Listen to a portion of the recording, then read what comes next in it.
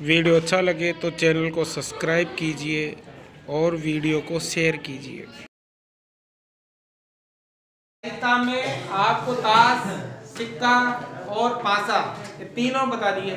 तीनों के अलावा भी कुछ क्वेश्चन है इसमें, जैसे संख्याओं वाले हैं इसके अलावा नहीं होने की प्रायिकता ज्ञात करने वाले हैं, और वार में है, जैसे लीप वर्स और अलीप वर्स वाले हैं। उनमें से भी आपसे कंचे हैं, गेंदे हैं, उनमें से भी आपको सवाल आ सकता है, तीन नंबर में भी और एक नंबर में भी। तो देखो किस किस प्रकार के सवाल बनते हैं। ध्यान से देखोगे तो आराम से समझ आएगा। सूत्र याद होना चाहिए। पीई बराबर अनुकूल परिणाम बटा कुल परिणाम। अब देखो, जैसे एक तो उदाहरण नंबर चार इंपोर्टेंट है, परीक्षा में पूछा जा सकता है। क्या लिखा है? बारह टिकटों पर एक से एक एक संख्या। एक से बारह तक लिखी है। बारह टिकट है। इन बारह टिकटों पर एक से लेकर बारह तक संख्याएँ लिखी हुई है। टिकट कितने? बारह। और एक से लेकर बारह तक संख्याएँ लिखी हुई है। देखो, उदाहरण नंबर चार है इंपोर्टेंट है, ध्यान से देखना। एक से लेकर बारह तक संख्या लिखी हुई है तो आप एक से लेकर बारह तक संख्या लिख लो। एक से लेकर बारह तक संख्या लिखने को कहा, लिखने को कहा है तो आपको एक से लेकर बारह तक क्या लिखनी है? संख्याएँ लिखनी है। ये बारह टिकट है। जिन पर नंबर लिखे हुए एक नंबर टिकट दो नंबर टिकट तीन नंबर टिकट चार नंबर टिकट ऐसे कितने तक बारह तक।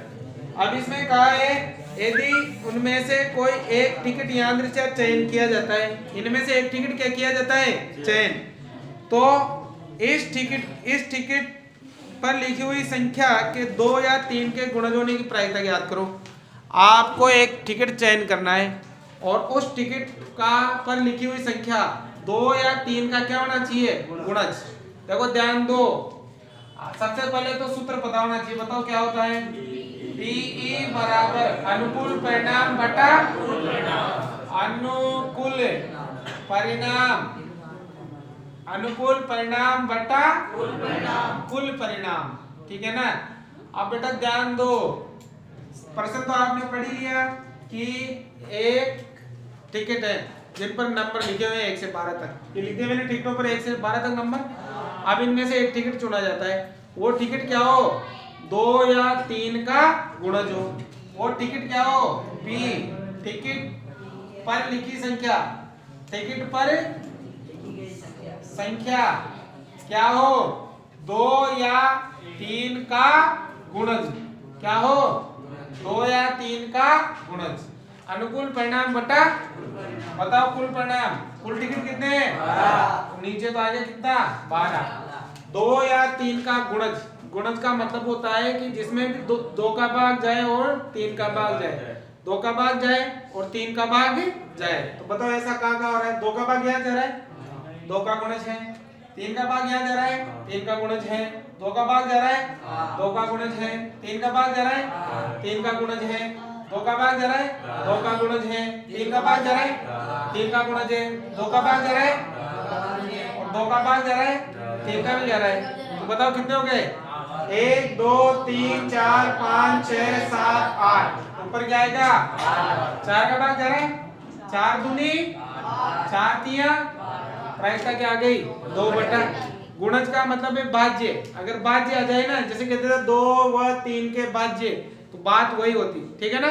इनके अलावा ये इसके अलावा क्या पूछ सकता है? पी एक टिकट चयन किया जाता है और वो टिकट पर लिखी हुई संख्या कैसी हो? सम संख्या टिकट पर लिखी हुई संख्या कैसी हो? सम मैं अपनी तरफ़ से बता रहा हूँ ये पूछ सकता है इसमें से। अब बताओ अनुकूल परिणाम बटा कुल परिणाम कितना? बारह। सम संख्या किसे कहते हैं? जिसमें दो का पूरी पूरी बार भाग। क्या कहलाती है बताओ, दो का भाग किसमें? एक, दो, तीन, चार, पाँच, छह। कितने हो गई छह एकम छह दुनी? प्रायिकता क्या गई? और विषम संख्या होने की प्रायिकता भी क्या होगी? एक बड़ा दो होगी। विषम किसे कहते हैं? इसमें दो का पूरी पूरी बार भाग। क्या पूछ ले? पी। क्या पूछ ले? बाज्य संख्या होने की प्रायिकता। बाज्य संख्या अनुकूल परिणाम बटा कुल परिणाम। तो कितने हैं? बारह। अब बताओ बाज्य संख्या किसे कहेंगे? ऐसी संख्या एक को छोड़कर एक ना तो बाज्य होती और नहीं अबाज्य होती। एक को नहीं लेना है बाज्य और अबाज्य बाकी सबको लेना है। बताओ बाज्य किसे कहते हैं? जिसमें एक स्वयं के स्वयं का भी भाग जाए और स्वयं के अलावा दूसरी संख्या का भी भाग जाए। बताओ दो। दो में किसका भाग जाता है? ये बाज्य संख्या? तीन में? तीन का ही जाता है। ये भी बाज्य संख्या? चार में? दो का भी जाता है और? ये बाज्य संख्या है। है बाज्य संख्या? पाँच में केवल किसका जाता है? ये कौन सी है? अबाज्य छह में?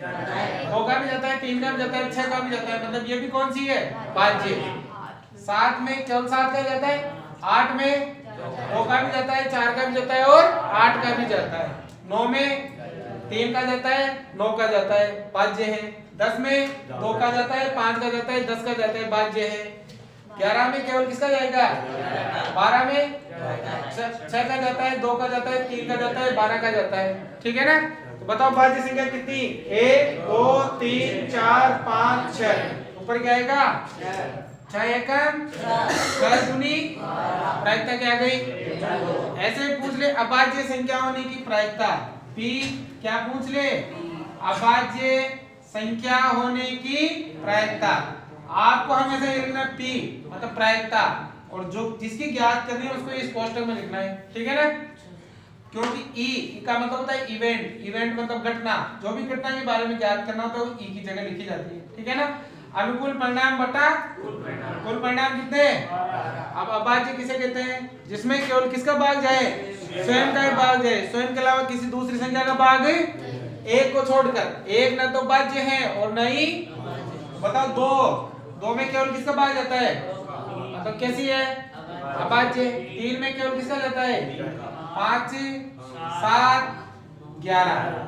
ठीक है तो कितनी है? एक, दो, तीन, चार, पाँच। कितनी है? प्रायिकता क्या हो गई?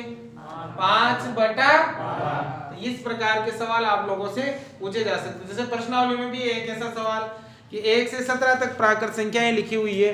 उन संख्याओं में से एक संख्या का यहाँ अंदर चयन किया जाता है। तो संख्या निम्न प्राप्त होने की प्रायिकता ज्ञात करो। इसमें आपसे पूछ सकता है कि पाँच से बड़ी या पाँच से छोटी?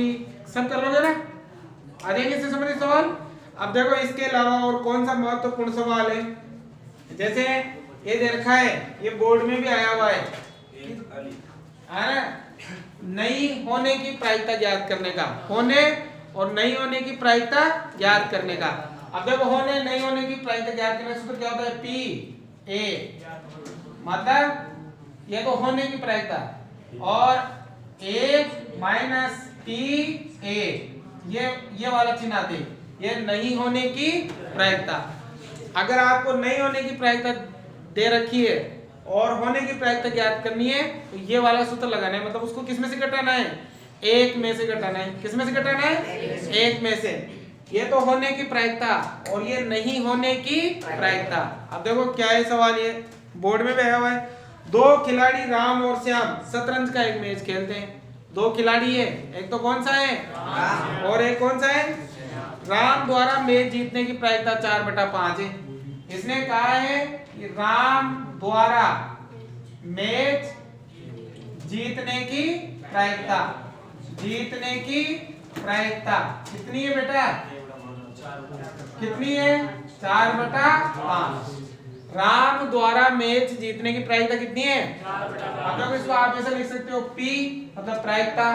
और किसके द्वारा? राम। तो यहाँ क्या लिख सकते हैं? आर पी आर का मतलब हो गया राम द्वारा मैच जीतने की प्रायिकता कितनी है? चार बटा तो आपसे कहा है कि श्याम द्वारा मैच जीतने की प्रायिकता ज्ञात करो। श्याम द्वारा मैच जीतने की क्या ज्ञात करनी है? प्रायिकता बताओ। पी और श्याम है ना? एस, एस लिख सकते हैं। ये हमें करनी है क्या दो खिलाड़ी हैं शतरंज का मैच खेलते हैं। एक तो है राम और एक कौन सा है? श्याम। अब राम द्वारा मैच जीतने प्रायिकता चार बटा पाँच है। तो किसके द्वारा? श्याम। अब देखो ऐसे समझो। नीचे पाँच आ रहा है। इसका मतलब कुल मैच कितने हैं? उनमें से चार मैच कौन जीत गया? तो बचा कितना? एक। कौन जीतेगा? श्याम। जीतेगा ना? सीधा सीधा लगाओ दिमाग। टोटल मैच पाँच है। पाँच में से चार मैच किसने जीत लिए? बचा कितना? एक। कौन जीतेगा? अब देखो कैसे ज्ञात करेंगे। अगर इस प्रकार का कोई भी सवाल आता है ना उसको किसमें से माइनस करोगे? एक में से। किसमें से माइनस करोगे? अब देखो आपको ज्ञात करनी है श्याम की। तो यहाँ लिखेंगे पी एस मतलब श्याम द्वारा मैच जीतने की बराबर क्या हो जाएगा? एक माइनस राम द्वारा मैच जीतने की प्रायता। पी आर ठीक है ना? ये पी एस को मुझे ज्ञात करना है एक माइनस बताओ राम द्वारा मैच जीतने की प्रायता कितनी है? चार बटा हल करो इसको। पाँच एकम पाँच में चार घटाया तो एक। और नीचे कितना? पाँच। बताओ प्रायता क्या गई? मतलब पाँच मैचों में से एक मैच तो श्याम ने जीता और पाँच में जो में से चार में किसने जीते? राम ने जीते। या इस, इसी से संबंधित सवाल है। ये ध्यान देना बेटा इधर। प्रश्नावली में ये भी आप लोगों से पूछा जा सकता है। इंपॉर्टेंट क्वेश्चन है। देखो, यदि यदि पी ए की प्रायिकता ज़ीरो पॉइंट पैंसठ है, ज़ीरो पॉइंट क्या है? तो ए नहीं की प्रायिकता बताओ। ए नहीं की क्या बतानी है? प्रायिकता। अब देखो, ध्यान देना इधर। जब भी आपसे ऐसा सवाल आ जाए और पूछे ए नहीं की प्रायिकता ए नहीं की प्रायिकता के लिए आप क्या करोगे? आप उसको किसमें से घटाओगे? एक में से।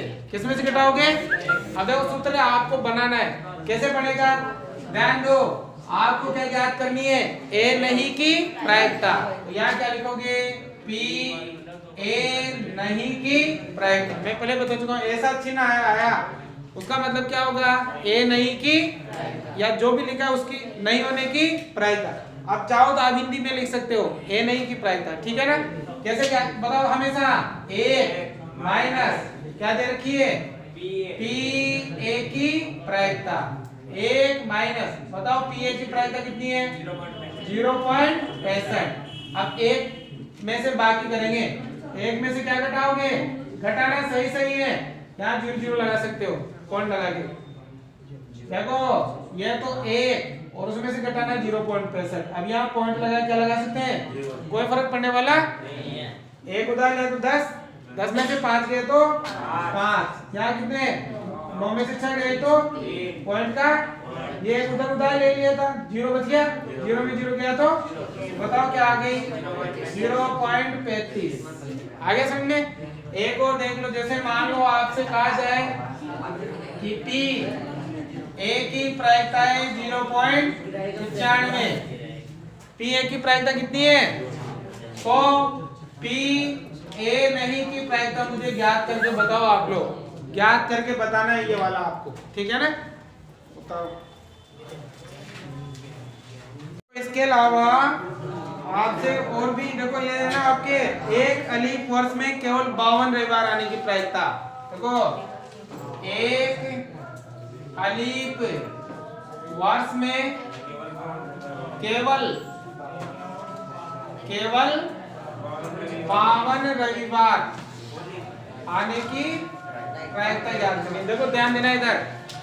इंपॉर्टेंट क्वेश्चन है, ध्यान से देखो। एक अलीप वर्ष में केवल बावन रविवार। अब आपको इस प्रकार का सवाल आने के लिए पहले लीप और अलीप वर्ष के बारे में जानना आवश्यक है। देखो, ध्यान से। लीप वर्ष का मतलब तो क्या होता है? लीप वर्ष देखो, जो लीप वर्ष होता है ना, वो होता है तीन सौ छियासठ दिन का। कितने दिन का? तीन सौ छियासठ दिन मतलब बावन सप्ताह। बावन सप्ताह और दो दिन का। बावन सप्ताह और और जो अलीप वर्ष होता है ना, ये भी दिया हुआ है आपके। अलीप वर्ष उसमें होता है तीन सौ पैंसठ दिन। इसका मतलब ये होता है आपके बावन सप्ताह और एक दिन का। बावन सप्ताह और कितने दिन का? एक दिन का। मतलब जो आपके अलीप वर्ष है ना अलीप वर्ष में आते हैं अलीप वर्ष। इसमें आते हैं बावन सप्ताह और एक दिन। बावन सप्ताह और कितने दिन आते हैं? अब इसने पूछा केवल बावन रविवार आने की प्रायिकता अब देखो बावन सप्ताह में कितने रविवार आ गए? बावन। बावन। सप्ताह में बावन रविवार आ गए। अब तिरपनवा रविवार नहीं आना चाहिए। केवल कितने रविवार आने चाहिए? बावन। अब बावन सप्ताह में बावन रविवार आ गए। बचा कितना दिन? अब ये एक दिन आपके कोई सा भी हो सकता है। ये एक दिन आपके सोमवार हो सकता है। ये एक दिन आपके मंगलवार हो सकता है। ये उस पर डिपेंड करेगा कि जो बीता हुआ साल है, जो अलीप वर्ष है वो कौन सा था? वो अगर उसकी एक इसकी एक जनवरी सोमवार है तो आने वाला जो अगला साल होगा, उसकी एक जनवरी को भी क्या होगा? सोमवार। अगर मान लो कि उसकी एक जनवरी को मंगलवार था तो आने वाले अगले साल की एक जनवरी को भी क्या होगा? मंगलवार। देखो ये जो एक दिन बचेगा ना ये एक दिन कोई सा भी हो सकता है ये एक दिन क्या हो सकता है सोमवार हो सकता है क्या हो सकता है ये एक दिन मंगलवार हो सकता है ये एक दिन बुधवार हो सकता है ये एक दिन गुरुवार हो सकता है ये एक दिन शुक्रवार हो सकता है और ये एक दिन शनिवार हो सकता है और ये एक दिन रविवार हो सकता है ठीक है ना भाई, बावन सप्ताह में बावन दिन तो आगे उनको तो हटाओ बचा ये एक दिन। ये एक दिन सात में से कोई सा भी हो सकता है। ठीक है ना? तो बताओ सूत्र क्या है? पीई बराबर अनुकूल परिणाम बटा अब कुल परिणाम ये लोगे, कितने हो गए टोटल सात। टोटल कितने हो गए? अब कह रहा है कि केवल बावन रविवार। बावन रविवार तो पहले आ गए। अब तिरपनवा रविवार नहीं आना चाहिए। मतलब इसमें रविवार नहीं आना चाहिए। बाकी ये छह आ सकते हैं। तो बताओ ऊपर अनुकूल परिणाम कितना? छह। तो क्या हो गई? छह बटा सात। समझ में आ गई? कुछ भी पूछ ले। केवल बावन सोमवार आने की प्रायिकता या केवल बावन शनिवार आने की प्रायिकता या बावन शुक्रवार आने की प्रायिकता तो उनकी प्रायिकता भी कितनी होगी? छह बटा सात। ठीक है ना? अब देखो इसके अलावा ये एक थैले में पाँच लाल और तीन सफ़ेद गेंदे। एक थैला है उसमें पाँच तो लाल और तीन कैसी गेंदे हैं? इस थैले में से एक गेंद यांत्रिचा निकाली जाती है।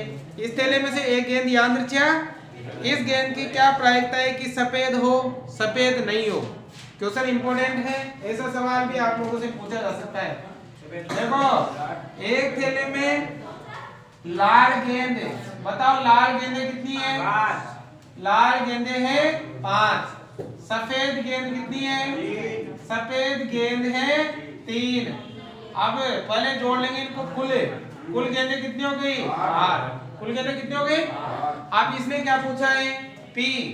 इसमें से बिना जाके एक गेंद निकाली जाती है। वो गेंद कैसी हो? सफ़ेद हो। वो गेंद कैसी हो?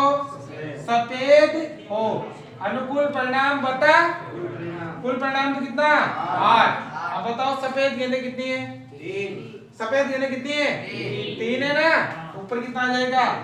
तो प्रायिकता क्या आ गई तीन बटा दूसरी में पूछा है पी सफ़ेद सफ़ेद नहीं हो। अब देखो, चाहो तो मैंने कहा था भी आपको नहीं होने की प्रायिकता ज्ञात करनी है। होने की प्रायिकता किसमें से घटाना है? एक में सफ़ेद होने की प्रायिकता तीन बटा आठ है। इसको किसमें से घटा दो? अगर ऐसा नहीं करना चाहते हो तो बताओ थैले में कितने प्रकार के गेंदे लाल और सफ़ेद नहीं निकलेगी तो बची कौन सी? सफ़ेद नहीं होगी तो कौन सी होगी? लाल कितनी है? ऊपर क्या आ जाएगा? कुल परिणाम। आठ अनुकूल परिणाम। प्रायिकता क्या आ गई पाँच बटा आगे समझ में? इस प्रकार का। और देखो एक ये पेन वाला है लास्ट ये भी इंपॉर्टेंट क्वेश्चन है। पेन वाला है ना? इसको भी ध्यान से देखना। देखो क्या लिखा है? किसी कारण ये तो आगे ना इस गेंद वाला।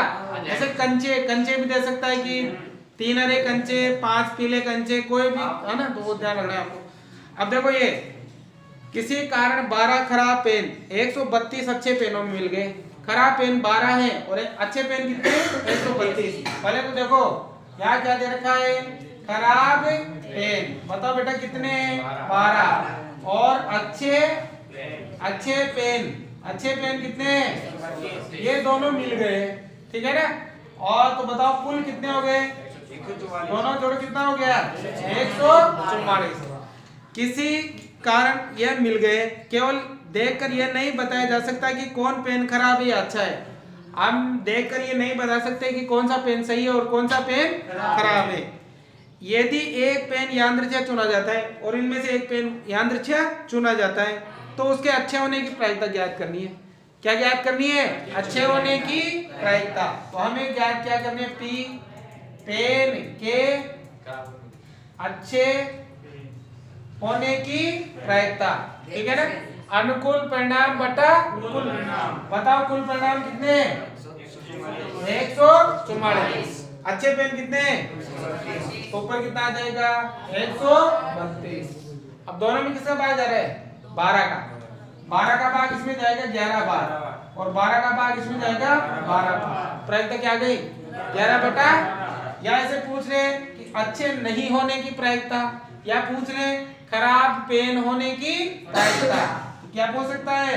खराब पेन होने की प्रायिकता अनुकूल परिणाम बटा कुल परिणाम कितना? एक सौ चौवालीस। बताओ खराब पेन कितने? बारह। ऊपर कितना आ जाएगा? बारह। बारह एकम और बारह बारह का भाग एक सौ चौवालीस में? बारह। आ गया समझ में? तो ये इम्पोर्टेंट सवाल है। सभी तैयार करने चार नंबर आराम से मिल जाएँगे आपको।